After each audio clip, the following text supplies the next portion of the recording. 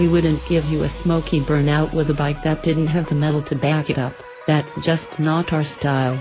Suzuki served up a healthy dose of liter bike love in 2012 with a clean, leaner model over the previous year.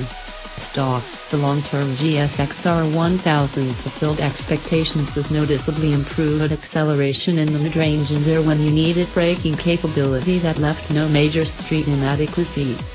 While not as easy to toss around at higher speeds as a CBR 1000RR or a ZX10R according to some in the office, the Gixxer is still a sweet canyon ride from the start and one of the more comfortable 1-liter bikes for the street.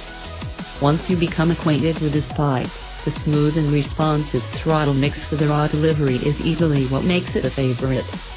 We covered the basic must-dos in our first round of mods with the Yosh fender eliminator, hot body smoke screen and a zero-gravity Dragun's tail seat, which was arguably one of the best ergonomic improvements we've made to any bike this year. Although Suzuki's effort to improve the OEM exhaust with a switch to a lighter and audibly more aggressive single muffler setup is appreciated, the system was still destined for replacement.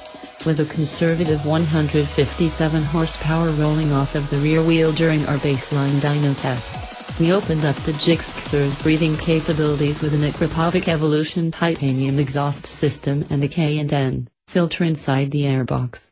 We then went back to the dyno to verify Akrapovic's claim that their high-end system was designed to make power and run properly without the need of remapping. True to their word, the Acro slash K&N combo was good for a solid 11 horsepower increase followed by another 2 more from simply pulling the baffle for a respectable 170 horsepower at the wheel. The LeoVince carbon fiber and Kevlar reinforced engine covers add a level of protection over the OEM alternator and clutch cases along with a matching fiber pattern to complement the Acro carbon end cap and bracket mount.